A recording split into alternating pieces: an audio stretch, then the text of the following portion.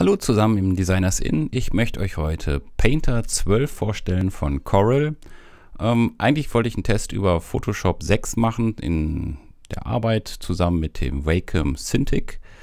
Ähm, tja, nun bin ich über Coral Painter gestolpert und muss sagen, ein tolles Programm, macht mehr Spaß als mit Photoshop.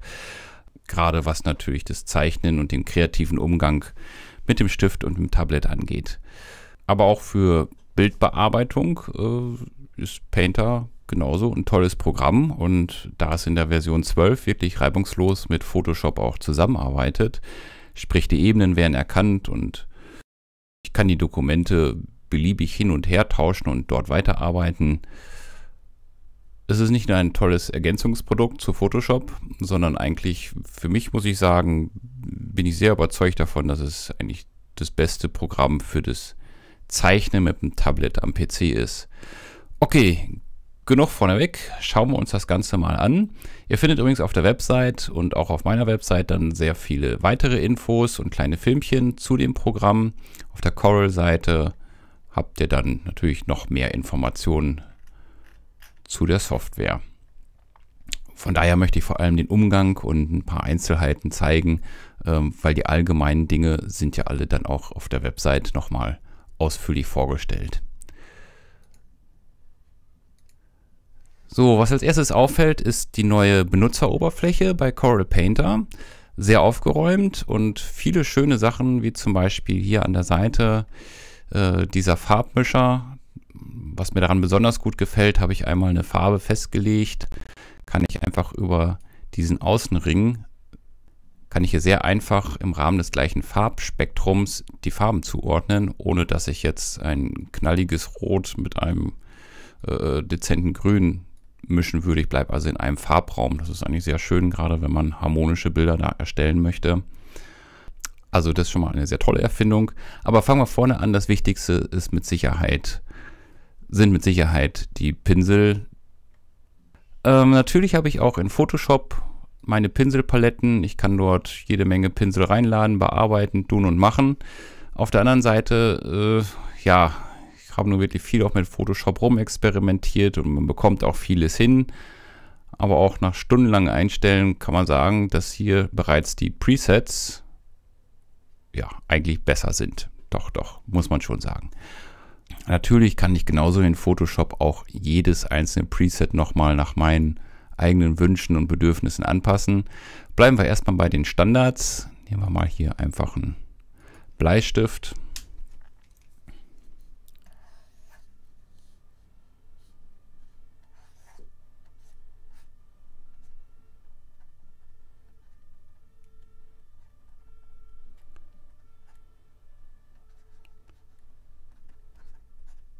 So, wunderschön. Also funktioniert ist druckempfindlich, natürlich.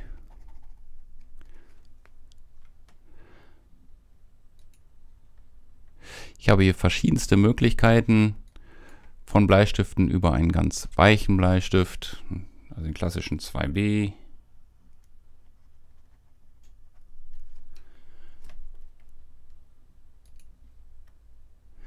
Über Buntstifte, Fettstufen Unten im Rahmen sieht man immer gleich, unten im Rahmen sieht man immer gleich, wie der Stift später aussehen wird.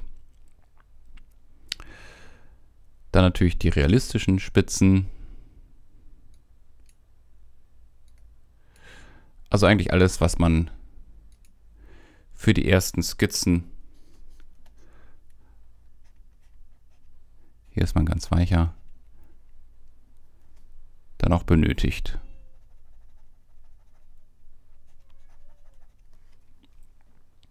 So, selbstverständlich kann ich äh, auch gerade Striche, gerade Malstriche, häkle ich nur hier oben den an und kann dann meine Punkte verbinden. Auch sehr praktisch. Ich kann aber auch den Punkt halten und dann ziehen und sehe dann, wie die Linie werden wird. Auch eine sehr schöne Sache. Und gehe ich zurück auf mein Malwerkzeug, bin ich entsprechend wieder zurück im normalen Malmodus. Okay, insgesamt ist das Zeichnen auf dem Tablet sehr flüssig. Corel selbst spricht von einer äh, Geschwindigkeitserhöhung um den Faktor 5. Äh, ja, ich muss sagen, das Programm läuft flüssig, auch bei komplizierten Pinseln, habe da keine Latenzen groß bemerkt. Von daher hat funktioniert die Optimierung der Software. Es gibt noch eine weitere schöne Neuigkeit. Man kann jetzt ähnlich wie in Sketchbook auch gespiegelt malen. Kann also hier einmal festlegen, wie das Ganze aussehen soll. So.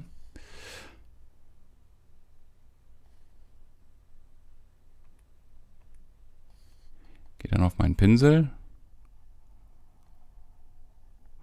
und kann jetzt entsprechend anfangen.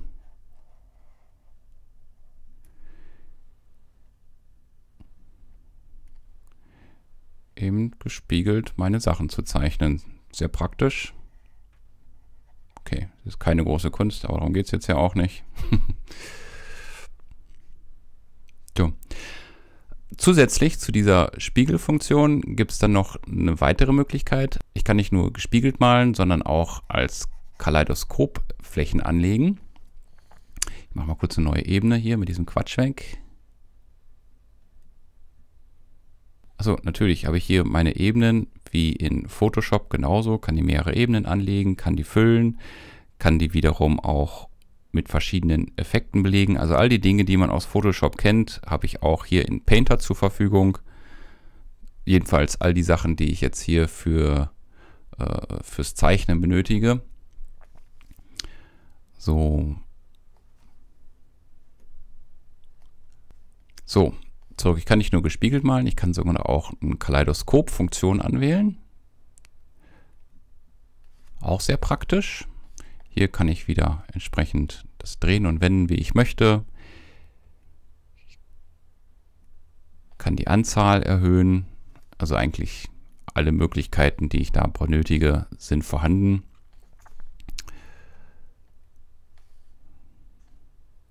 Malen wir mal.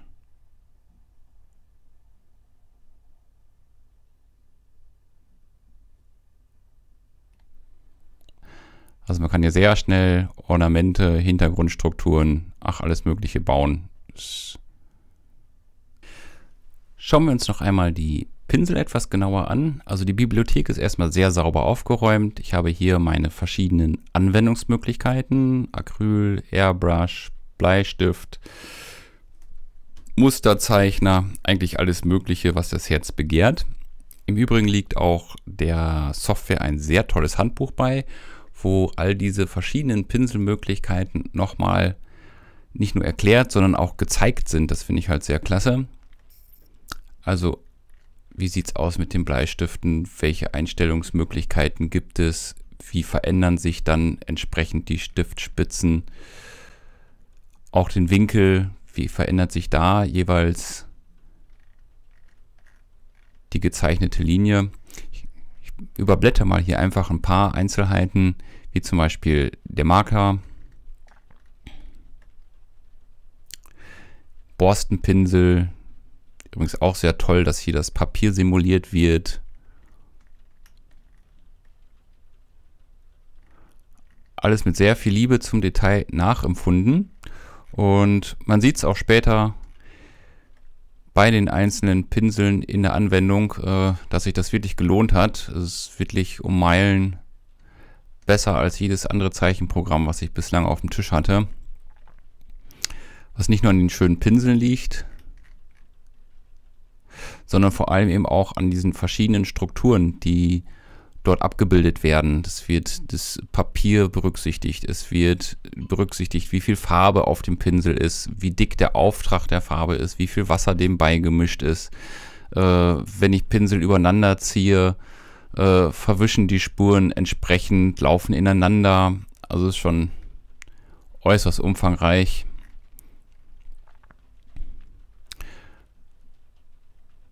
Hier, ob die übereinander laufen,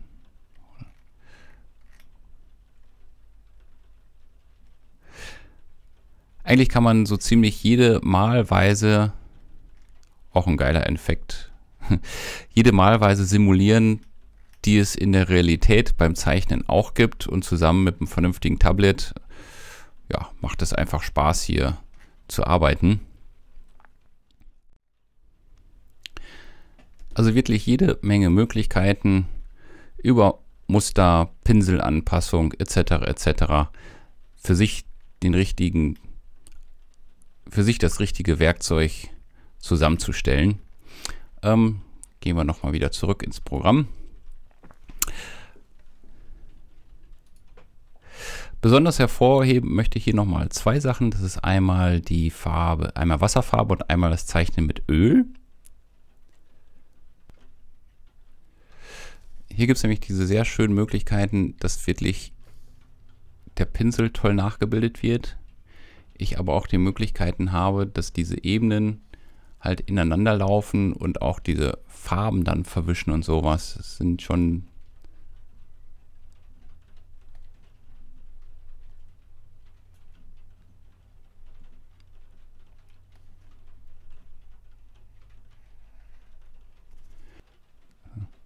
Natürlich kann ich die Pinselstärke über einen Shortcode, ist hier äh, Alt-Command einfach gedrückt und dann den Stift größer hin und her schieben, dann wird der Radius größer und kleiner.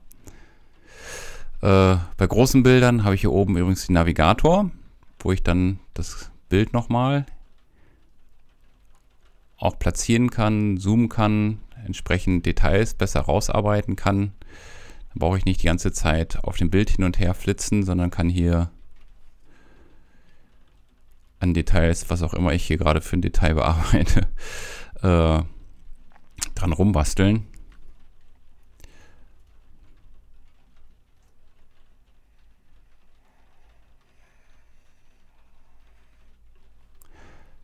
Hier mal als Effekt wäre sowas wie Säure.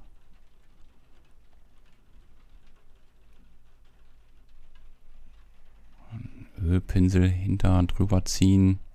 Man sieht auch hier, dass sich der Pinsel, da wo ich die Säure drauf geschüttet hatte, entsprechend der übermalte Bereich gleich wieder ändert.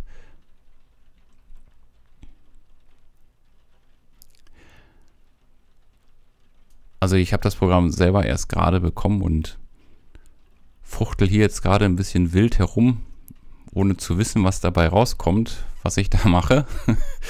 äh, aber wie gesagt, ihr habt unten auf der Webseite bei mir dann nochmal die anderen Videos von den Profis, die sich mit dem Programm dann auch auskennen und ein bisschen mehr zeigen. Also viel mehr zeigen. Wichtig ist nur, denke mal, was schon mal klar wird. Es gibt wirklich alles, was das Herz begehrt. Also wüsste jetzt nicht, was man mit dem Programm zeichnerisch nicht machen kann. Es ist wirklich ein Phänomen, wie viel heute technisch möglich ist. Und ich bin ja eigentlich ein Verfechter von Photoshop, weil es einfach jetzt auch im Büro mein täglich Brot ist, damit zu arbeiten. Aber jetzt hier bei der Arbeit mit dem Tablet und alles, was jetzt Zeichnen angeht, für mich wird es klar sein, ich werde jetzt hier auf jeden Fall auf Painter umsteigen, was das angeht, was nicht Photoshop schlechter macht, im Gegenteil. Aber dieses Programm ist einfach, ja, genau für diesen Zweck zum Malen konzipiert und das merkt man auch in jedem Augenblick, wenn man damit arbeitet. Okay, zur Oberfläche noch ein paar Anmerkungen.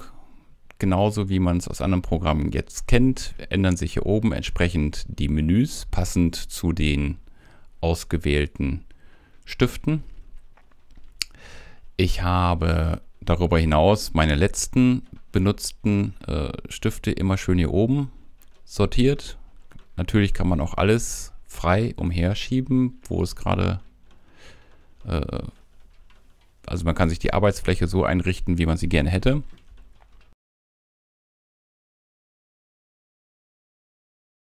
Ach ja, übrigens hier, der Mischer, auch eine tolle Sache. Man kann sich hier die Farben zusammenmischen. Guck mal hier, wenn ich hier rüberziehe. Also wirklich wie auf so einem Mischbrett beim Zeichnen. Tolle Idee. Kann hier meine Farben zusammen basteln und die dann mit der Pipette aufnehmen und damit dann wiederum hier weiterarbeiten. Sehr tolle Idee. Das macht echt Spaß. Ich habe damit schon mal ein bisschen Farben zusammengewurstelt. Die kann man wiederum auch abspeichern und später ja, als fertige Palette wieder hervorzaubern, um dann an anderen Bildern vielleicht mit den gleichen Farbstimmungen weiterzuarbeiten. Kaleidoskop und die neue Spiegelfunktion hatte ich vorgestellt. Ähm, auch eine schöne Sache ist zum Beispiel das Malen auf trockenen Medien. Also ich kann die Pinsel für verschiedene Medien optimiert auswählen. Sehe hier zum Beispiel, ich habe einen Borstenpinsel, ich habe aber auch den Borstenpinsel trocken beispielsweise.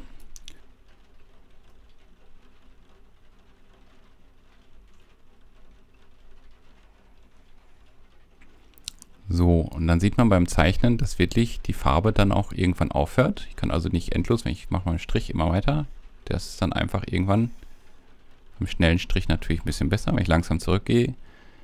Feierabend, was die Farbe angeht. So, jetzt nehmen wir als Vergleich mal den Pinsel nass.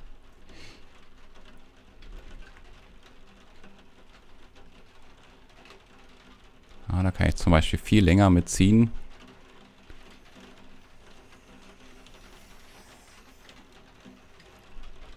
Bis da wirklich mal die Farbe ausgeht. Dicke Borsten.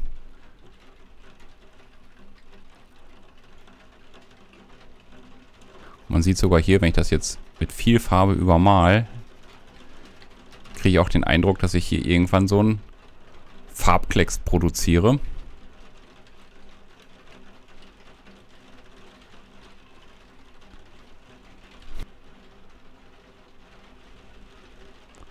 habe ich einen Mischpinsel mal ausgewählt. Wenn ich hier jetzt rüberziehe mit dem Pinsel, dann sehen wir, dass ich die Farben vermische. Das ist also jetzt ähnlich, wenn die Farben noch nicht ganz trocken sind und ich dann zu früh mit meinem Pinsel rüber mal, dann ziehe ich hier die Farben entsprechend nach. Auch das ist wieder ganz toll simuliert wenn mein Kunstwerk hier seltsame Blüten zutage bringt.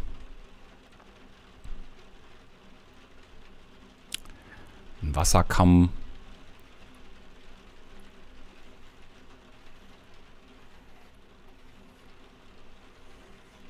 Also sind alles Funktionen. Ich wüsste jetzt nicht, welches Programm sonst solche Sachen machen kann. Hier einfach nochmal mit Wasser so ein bisschen nachkorrigiere. Okay, aber nicht nur was das Malen angeht, auch was die Bildbearbeitung angeht oder Verfremdung von Bildern, äh, hat das Programm einiges zu bieten. Das probieren wir jetzt mal kurz nochmal aus.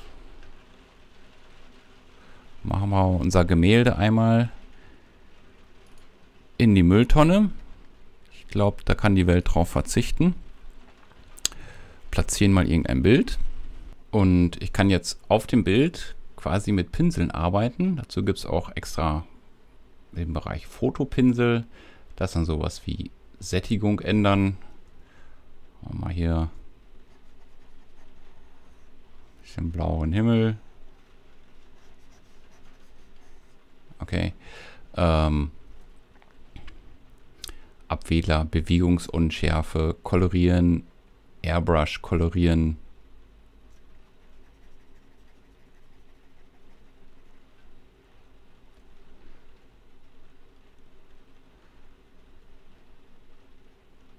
So.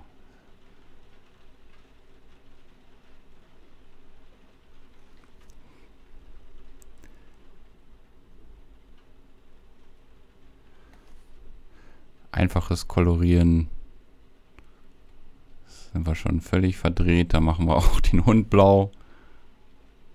Und natürlich kann ich auch auf verschiedenste Weise hier mein Bild später wieder kolorieren, das auf einzelnen Ebenen bearbeiten. Ähm, hier beispielsweise habe ich mal, hier habe ich jetzt mal nasses Öl ausgesucht.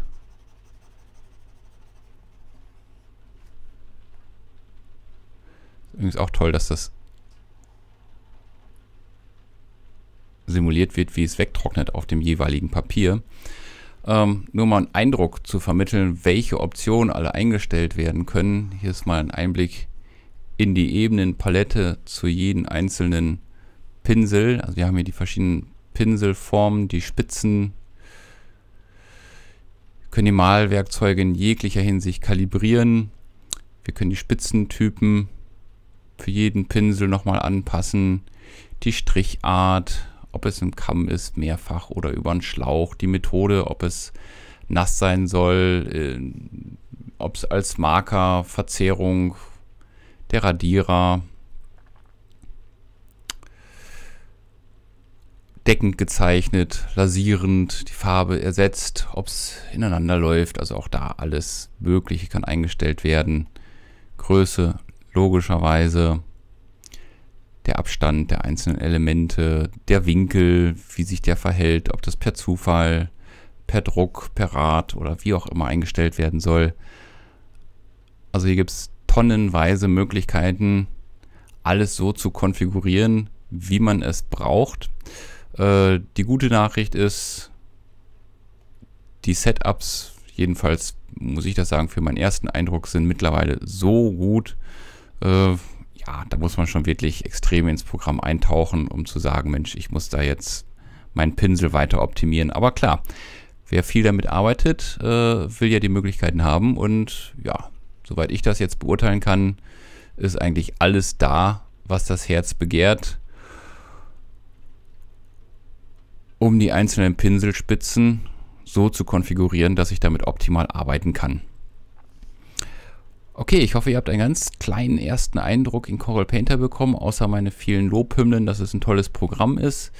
Ähm, neu hinzugekommen an Funktionen ist halt das Klonen, ist die Funktion der Spiegelung, die hatte ich mal kurz gezeigt. Es ist das neue Menü, wo die Pinsel ordentlich durchkategoriert sind kann also viel schneller jetzt darauf zugreifen und kriege nicht eine 10 Meter lange Liste an Pinsel. Sehr gut gelöst finde ich eben auch, dass ich jetzt meine Fenster frei anlegen kann, wie ich das aus anderen Programmen kenne. Ich habe hier meinen Ebeneneditor, ich habe meine verschiedenen Kanäle, die ich anschauen kann. Äh, die Geschichte mit den Farben, sowohl den Farbselektor, finde ich extrem genial. Äh, die Mischpalette, eine ganz tolle Idee weil es wirklich auch der realistischen Arbeit, also der Arbeiten wirklich äh, auf einer Leinwand dann entsprechend näher kommt und auch, dass die Farben ineinander laufen, je nach ja, Raumfeuchtigkeit kann man schon fast sagen und äh, alles toll simuliert. Äh, der Navigator hier oben kennt man auch aus anderen Programmen, hat also auch jetzt hier Einzug gefunden. Eine sinnvolle Sache, gerade wenn man auf großen Leinwänden arbeitet, dass man sich hier wirklich auf Details konzentrieren kann und nicht immer rein und raus zoomen muss, sondern über den Navigator schnell dahin kommt, wo man hin möchte. Ja, die letzten Pinselspitzen nochmal als Extrafenster finde ich auch eine gute Idee, weil natürlich macht man nicht so einen Quatsch wie ich jetzt hier heute, sondern man hat seine zwei, drei, vier Werkzeuge, die man braucht, äh, dann immer im schnellen Zugriff und muss nicht immer durch die Paletten, auch wenn sie schön aufgeräumt sind.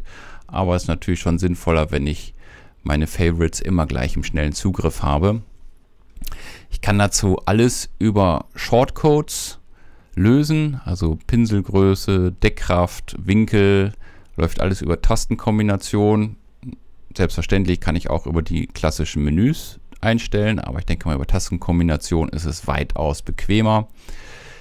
Die kann ich auch selber festlegen über Voreinstellung über Voreinstellungen. Was für ein Wunder. Haben wir hier entsprechend die Möglichkeiten, das Programm für uns etwas zu optimieren, anzupassen, die Leistung anzupassen. Ach ja, ist natürlich auch für Mehrkernprozessoren jetzt äh, optimiert. Ich habe jetzt hier einen 8 Kern, 7 Kern habe ich jetzt hier in Verwendung für Painter mal reserviert. Wie die Formen angezeigt werden sollen. Auch das kennt man ja von Photoshop. Haben wir hier genauso. Also insgesamt, jeder, der mit Photoshop gearbeitet hat oder arbeitet, äh, wird sich hier schnell zurechtfinden und so. fühlt sich hier sehr gut zu Hause. Hier, hier habe ich die verschiedenen Befehle, sehe dann entsprechend auch aufbereitet, mit welcher Tastenkombination ist das gewünschte verknüpft. Die definiere ich dann einfach neu, so wie ich es haben möchte. Es gibt hier auch äh, äh, gewisse Presets, also die Standardeinstellungen, die können entweder nach Corel ausgerichtet sein. Es gibt sogar ein Preset, wonach das Programm gleich versucht, die gleichen Tastenkombinationen, wie sie in Photoshop üblich sind, hier auch zu übernehmen. Also Zoom, die Hand etc. All das ist schon vorbelegt, wie man es aus dem anderen Programm kennt. Äh, also hier kann man sehr schön, wo wir gerade bei Hand sind, Hand in Hand arbeiten zwischen den beiden Programmen. Ähm, ach ja, eine Sache war noch toll. Das hatte ich beim Überfliegen mal gesehen. Das Perspektivraster fand ich eine gute Idee. Raster einblenden. Perspektivraster, ja. Ah ja, da haben wir es ja. Siehst du. Ach so, mein Bildchen ist so klein, genau. So, hier kann ich natürlich den Raum drehen und wenden, wie ich es benötige. Kann den Fluchtpunkt entsprechend verschieben.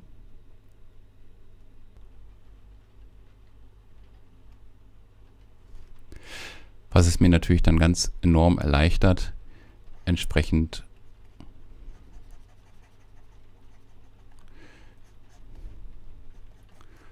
Dinge im Raum dann eben zu zeichnen und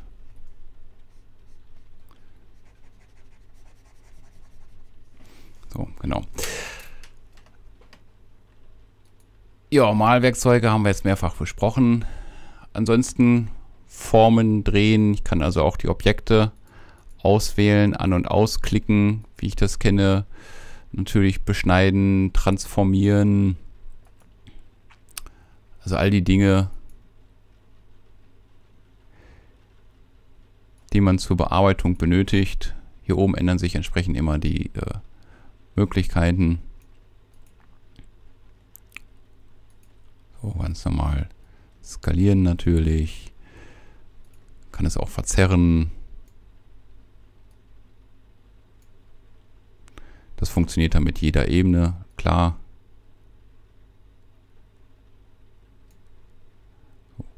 Also ist schon nicht jetzt nur das Malprogramm, sondern ich kann auch sehr umfangreich hier mit meinen Bildern rum experimentieren. Bis hin zur Bildoptimierung geht mit dem Stift dann natürlich sehr komfortabel.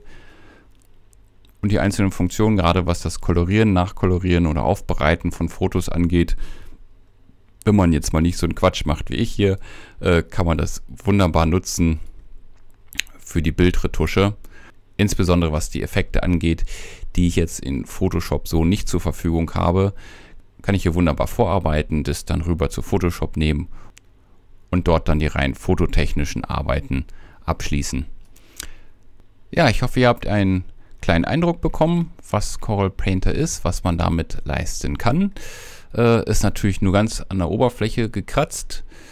Für mehr Informationen geht einfach auf die Webseite coral.com. Da findet ihr jede Menge Infos zu den Neuerungen, zu den einzelnen Funktionen. Schöne Videos, wo nochmal einzelne Sachen im Detail schön vorgestellt sind. Kann man einfach mal durchklicken. Die sind auch immer nicht lang, sind immer nur ein, zwei Minuten. Ähm, ja, probiert das Programm aus. Ihr könnt eine 30 Tage Testversion kostenlos von der Seite herunterladen. Schaut, ob es euch gefällt, vom Handling zu eurem Arbeiten passt. Hier und da sind noch ein, zwei Menüs, die ich ein bisschen suchen musste, aber okay, das ist halt bei einem so komplexen Programm sicherlich nicht anders möglich. Irgendwo müssen all die Punkte hin und da muss man zur Not auch mal in das Handbuch reinschauen. Ähm, das Handbuch selber ist gut geschrieben. Also nicht nur ein, zwei Sätze installieren und fertig, sondern auch da sind die einzelnen Pinsel vorgestellt. Wie kann man mit arbeiten? Wie kann man sie optimieren? Äh, was kann man an Fotoretusche mit dem Programm machen? Wie kann man Fotos kolorieren? Äh, andere Objekte mit einem Pinseleffekt in ein Foto reinstempeln. Also es gibt echt hunderte Möglichkeiten, tausende mit dem Programm umzugehen. Ja, macht euch ein Bild. Ich hoffe, euch gefällt's und ich habe euch hier nicht auf eine falsche Fährte geführt. Okay, viel Spaß und bis zum nächsten Mal dann.